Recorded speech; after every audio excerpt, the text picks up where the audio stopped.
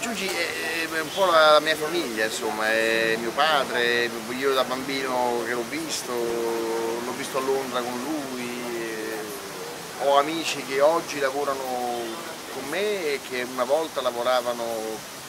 con mio papà, insomma, è una,